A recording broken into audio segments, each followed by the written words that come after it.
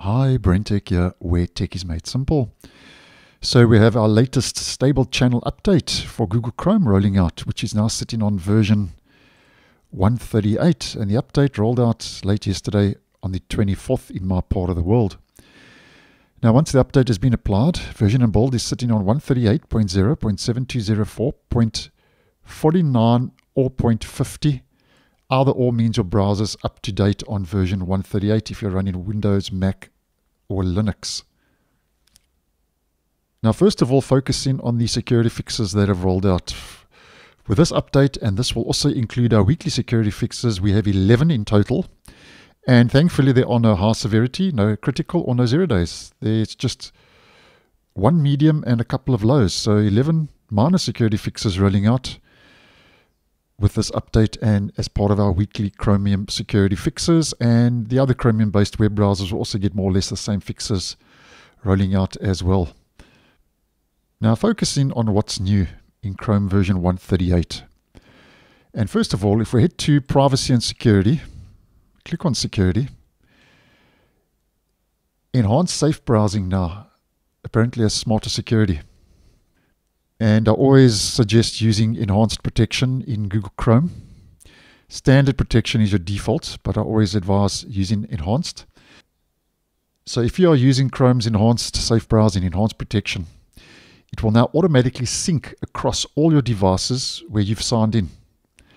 This means better protection against dangerous websites and downloads, as I mentioned.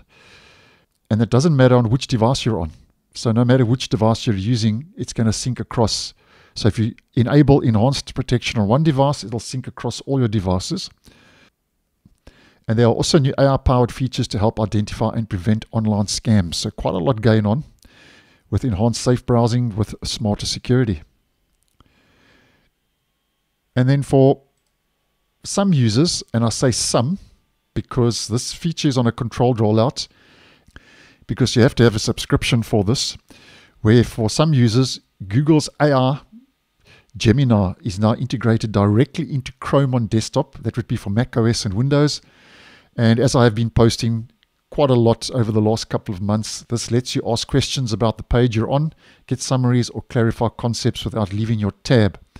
Now, if you want more information, because I don't have a AR subscription, if you want um, more information, I have I have posted a whole video when Google confirmed that Gemini Live AI is coming to Chrome, but not for everyone. I'll leave that link down below and in the end screen if you would like some more information. And then if you're using the web apps, Chrome is making it easier for web links to open directly in installed web apps, which I think is a nice move.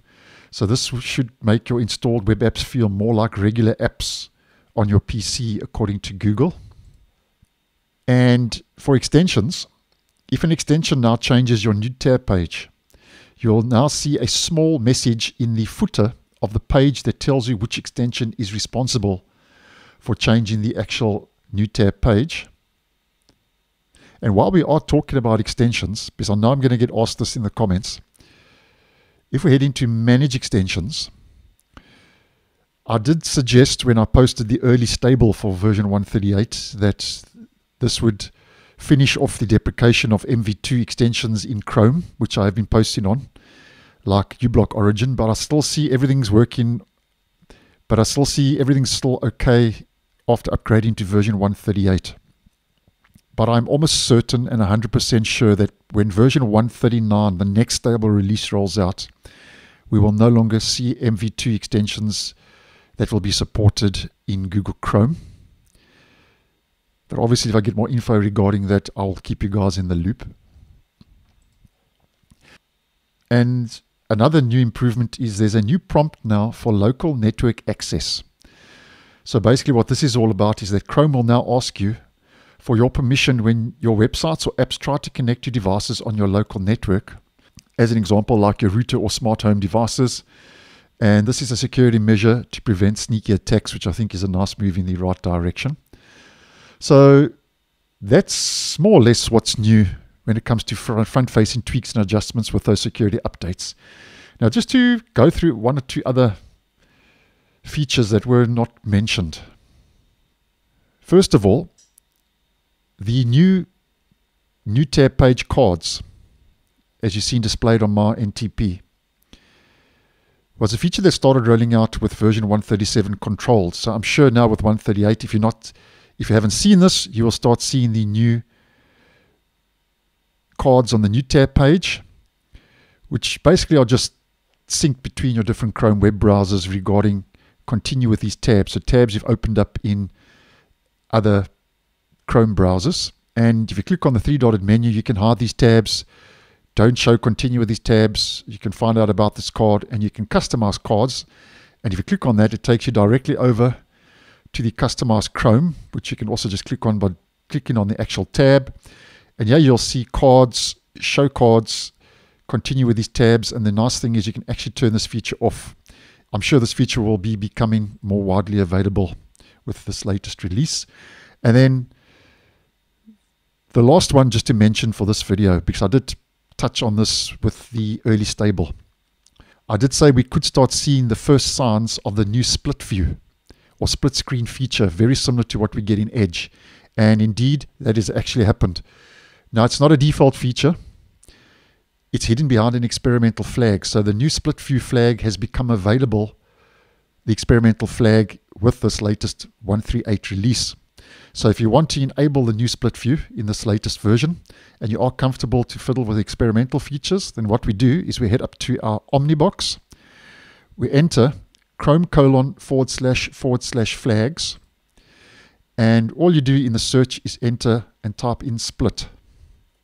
There we go. Split view allows users to view two tabs simultaneously in a split view.